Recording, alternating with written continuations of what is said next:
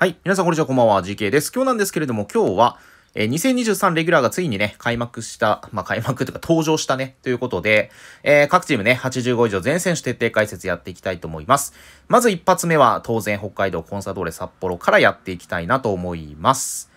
はい。ということでね、えー、まあ、レギュラーが来たわけなんですけれども、まあ、各チーム大体まあ、どうなんすかね。ちょっとまだ最後まで見てないのでなんともですけど、多くて5ぐらいあんのかなちょっとね、川崎マリノスとかまだ見てないんですよね、実はね。ちょっとバタバタちょっと撮ってるので。で、浦和までちょっと見てきたんですけど、浦和3人しかいないとかかな。まあ、あんまりなんか今シーズンもしかしたらあれですかね。まあ、グローリーのグレード、うーん、なんか違和感があるなと思ったら、なんかちょっとなんかブレがすごいっすね。まあまあいいやということで やっていきたいと思いますね。はい。で、今回はね、はい、北海道コンサドーレ札幌編なので、まあ、札幌の選手たちをね、評価していくわけなんですが、一応ね、評価動画になりますので、評価基準先に説明させてください。こちらです。はい、えー、この動画の評価についてなんですが、スキル能力値総合の3項目で1から5の9段階、点5を含めて評価していきたいと思います。で、またね、えー、一人一人選手のね、そういったところを合わせて、まあ、細かくね、評価できたらなと思いますので、よろしくお願いします。では、早速一人目の選手からやっていきましょう。まず一人目の選手、こちらです。はい、えー、北海道コンサドーレ札幌の金子拓郎選手です。金子選手はスキル4.5、能力値が4、総合4.5で評価しております。はい、ここ見ていくんですが、スキルに関しては、まあ悪くはないんじゃないかなと思いますね。スペクタクルダブルタッチ、まあフェイント系のね、上位スキル。で、えー、高精度ミドルシュートでキラーパスということで、まあバランスも良く、まあいいんじゃないかなと思いますね。まあ4.5は、はい、つけれるんじゃないかなと思います。で、能力値に関しては、まあ、オフェチ1369、まあ、4ぐらいが妥当ですかね。ボーナス4フェまでは来てないんでね。で、総合は4.5で評価しております。まあ、ここ使うんだったら、まあ、シャドウかトップ下であるかなと思うんですが、まあ、金子選手、金子選手ね、なんで手、手って言ったんでしょうね、今ね。はい、金子選手なんですけれども、まあ、今シーズンね、非常に活躍されてる選手の一人でもありますので、まあ、これからね、限定とかでお見かけすることがあると思うんですが、まあ、レギュラーにしては、まあ、悪くはないんじゃないかなと思いますね。まあ、むしろいい方じゃないかなと思いますが、まあ、一つ気になるところがあるとすれば、このミドルシュートはやっぱり、よっぽどスキル強化とか、まあ、スキル強化積んでもちょっときついかもしれないですけど、フェチ上げるとかね、まあ、魔改造しないとなかなかシュートセーバーにはちょっと、えー、及ばないと思うので、あくまでまあね、キラーパス持ってるので、パス、シスト要因として、まあ見るのがいいのかなと思いますね。まあ、スペクタクルダブルタッチ、最近このフェイント系のドリブルやっぱりね、普及してきまして、まあ、ここから繋がるスキルでもありますんでね、この2つね。まあ、攻めのバリエーションとか、まあ、その攻めやすさとかに関しては、このダブルタッチが抜けさえすれば、まあ、それなりに、え、幅は広がると思うので、まあ、役割的には、まあ、アシストメインだと思うんですが、まあ、強めに、うん、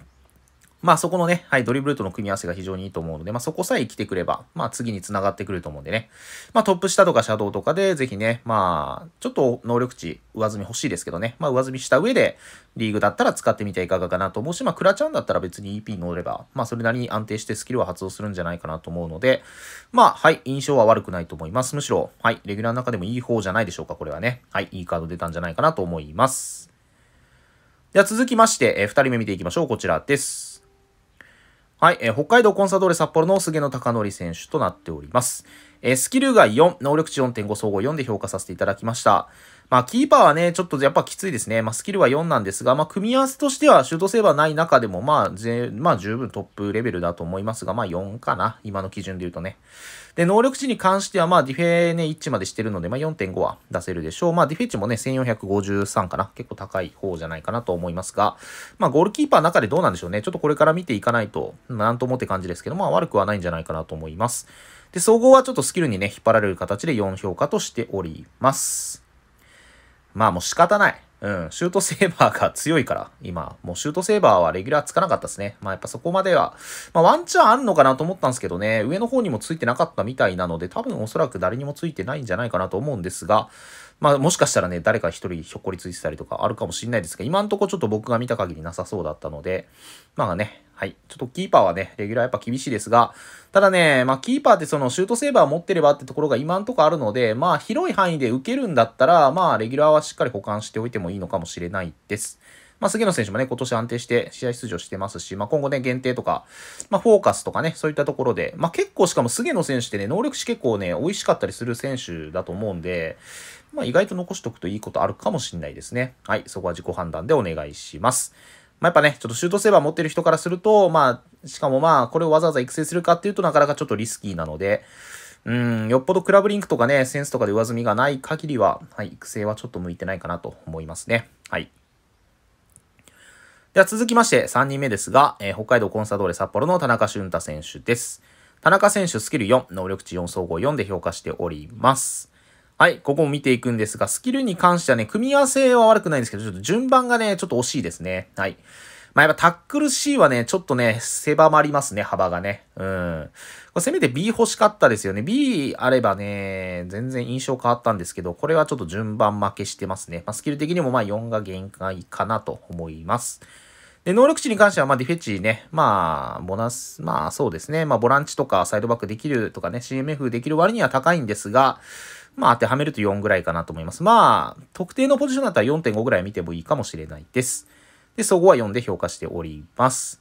まあ、いずれにしろ能力値云々というよりも、スキルがちょっともったいないかなっていう感じですかね。ただ、田中俊太選手もね、今年多分あの活躍見てる限りだと、まあ、カードはね、いろいろ限定とかでも、はい、見れそうですし、まあ、今後レギュラーカードは一旦まあ保管はしておいてもここもいいんじゃないかなと思います。まあ、幅は広がっていくと思うんで、まあ、なかなか序盤の人とかだとね、抱え込みにくいかったりはしますが、まあ、ある程度、はい、トレードコインとかに余裕が出てきた人とかだったら、まあ、広めに受けるために、ここは、えー、残しておいてもいいんじゃないかなと思います。まあ、このカードを使うというよりは、このカードを餌にして、より限定が当たった時に強くしていきたいかなっていうコンセプトだとは思いますが、まあ、このカードがね、全く使えないとかそういうわけではないです。まあ、タックル C に目つぶるんだったらスキル構成はいいし、まあ、とりあえずの穴埋めとかには、はい、なるんじゃないかなと思うので、まあ、そういった起用はね、考えてみてもいいかもしれないです。ただ、最終的なベストメンバーにはちょっと残らないかなって感じがしますので、そこだけ注意してください。はい。では、最後の選手になります。えー、北海道コースナドーレ札幌の青木亮太選手です。青木選手スキル4、能力値3.5、総合3.5で評価しております。はい、ここ見ていくんですが、スキルはね、まあ、ロングループ、音速、ビルドアップブレイク。まあ、まとまりがあるかないかで言われたら、ある方ではないかな。うん、まあ、普通ぐらいですね。はい。で、近距離シュート、まあ、一発あるかないか。まあ、音速もね、そんなにこの能力値だと抜けそうでもないので、あんまり評価がちょっとつけにくく、まあ4が限界ですかね。でも3.5よりの4ぐらいと思っていいと思います。今の環境だとね。ちょっと厳しいかなと思いますね。で、能力値に関しては、まあここもオフェッチ高いわけじゃないので、まあ3.5が精一杯かなと思いますが、いや違うね。これ1135じゃなくて1335ですね。ほい。4にしましょう。4にしましょう。ということは、スキル3.5にしますか。えー、ちょっと評価はね、4はちょっと難しいね。うん。まあ皆さんの画面今変わってると、すでにね、もう最初から変わってると思うんですが、まあ3.5、4、3.5かな。うん。にしておこうかなと思います。うーん、まあ使うんだったらシャドウかトップ、まあシャドウかな。うん、トップ下はちょっと遠いですね。はい。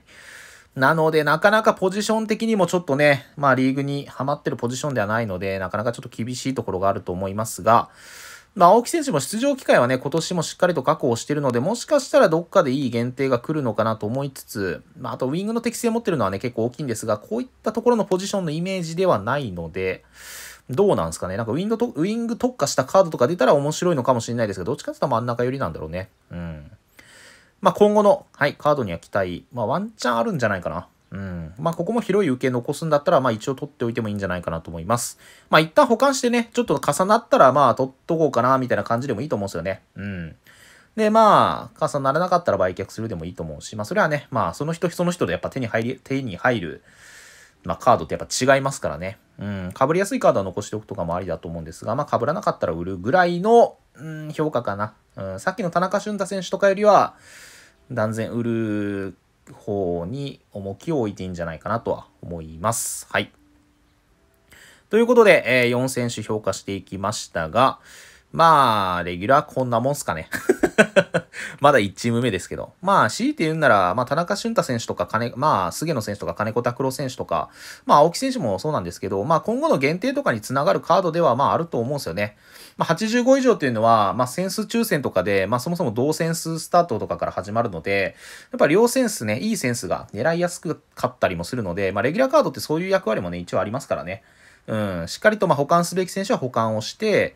で、まあ、砂漠選手はしっかりさばいてね、コイン確保して、まあ、ミサンガに変えるっていうこの作業が、まあ、結構あね、そのバランスとかも大事だったりするので、まあ、その人その人でね、まあ、当然クラブリンクのチームとかも違うし、まあ、誰を使ってるかとかもそもそも違うんで、まあ、誰を残すかっていうのはちょっと難しいですけど、まあ、安定してね、残しやすい選手っていうのは、やっぱり、まあ、需要と供給のバランスがやっぱりね、J クラ、各ポジションバラバラですから、まあ、特に供給が少ないポジションとかは、まあ、残したいところとかね、うん、まあ、まあ、急所になるポジションとかもね、それぞれ違うだろうし、そこはね、しっかりと、えー、個人で判断して、まあ、どうカードを裁くかというのはね、自分で決めてほしいなと思います。まあ、当然、レギュラーカードの中にもね、実用性の方に、まあ、しっかりと、まあ、うん、十分なレベルに達してるカードも、まあ、あるので、それもね、はい。まあ自分のデッキと見比べて、えー、育てる価値があるのかというのはね、しっかりと考えた上でぜひね、えー、これからの J クラライフに、えー、活かしてほしいなと思います。では今回の、えー、動画は以上になります。ご視聴ありがとうございました。これにて失礼します。バイバイ。